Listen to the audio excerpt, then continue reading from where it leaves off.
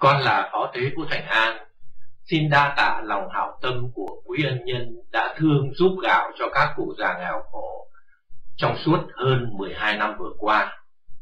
Xin quý vị tiếp tục mở lòng quảng đại để các cụ có cơm ăn. Chúng con cũng xin cảm ơn quý vị đã ủng hộ các thuốc dược thảo của gian hàng từ thiện. Nhờ ơn trời các thuốc này rất hữu hiệu. Xin mời quý vị vào gian hàng từ thiện.com để nghe chính các cụ nói. Chúng con xin kính chúc toàn thể quý vị được mọi sự may lành.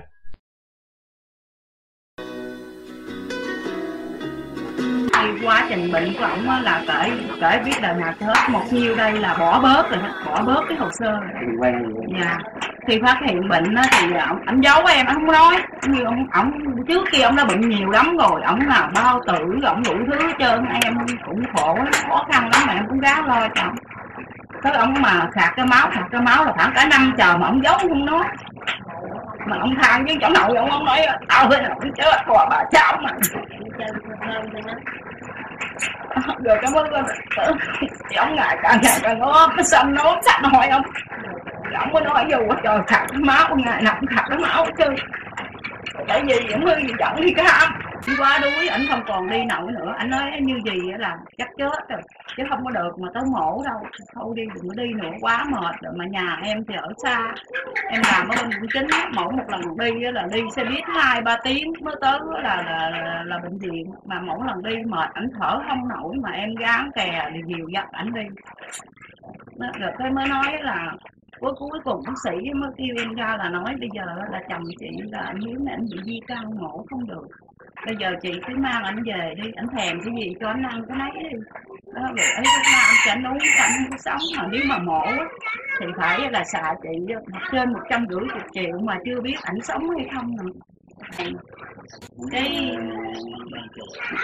em mới đi ra ngoài, em làm, em lên chợ em làm nữa. Giờ em tết xong cái năm này nè, em mới lên chợ em làm thì cái người ta là người ta mới chỉ em đấy bà hiếu ơi, chồng bà bị ung thư thời kỳ cuối rồi mà ở trong là là chị hành ở trong ở trong kia rồi trong chung cư người ta cho thuốc, có uống ung thư, sao bà không đi vô chẩn sinh? Đó, nghe nói vậy thì em chạy đi vô chẩn chạy vô chẩn thì um, qua như vậy là gần hết năm hữu thuốc rồi. Dạ. Dạ thì uh, anh thấy là khỏe rồi dạ. nhiều rồi hả? Phần hết giảm hết ba bớt sốt hả bớt sốt ăn được ngủ được. Ăn được ngủ được. Giảm lói giảm lói là lói chỗ nào? Lói chỗ gió nó tới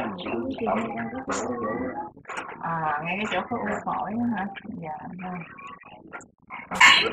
lúc đó thời gian bệnh thì cơ thể tôi đi đứng khó khăn lắm.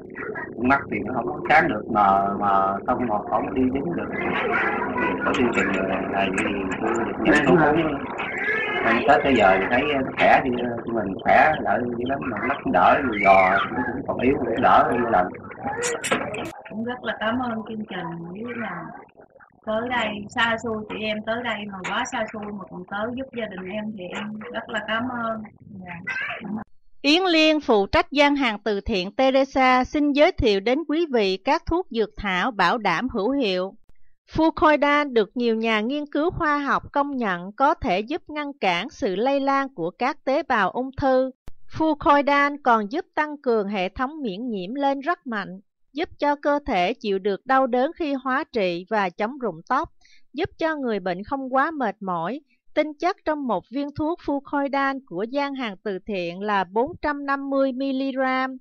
Diêu fucoidan là loại fucoidan tốt nhất, có chứa hàm lượng fucoidan cao nhất trên thế giới.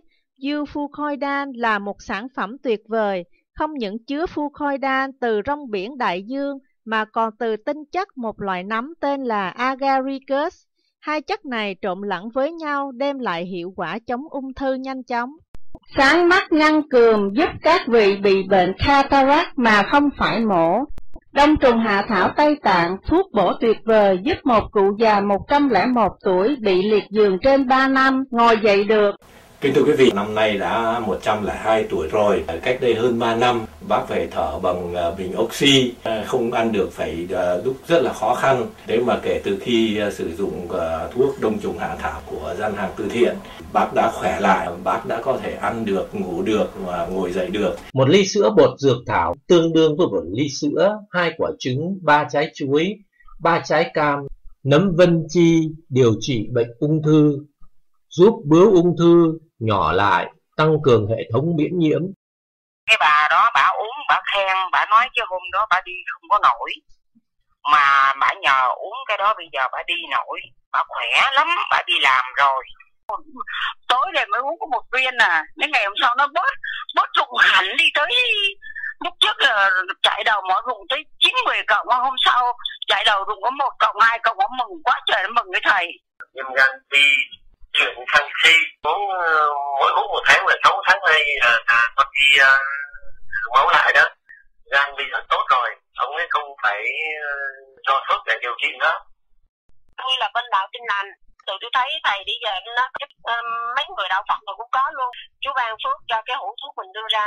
Nó thanh linh cái ban phước cho cái cái hũ thuốc này ai uống cũng hết thật sự.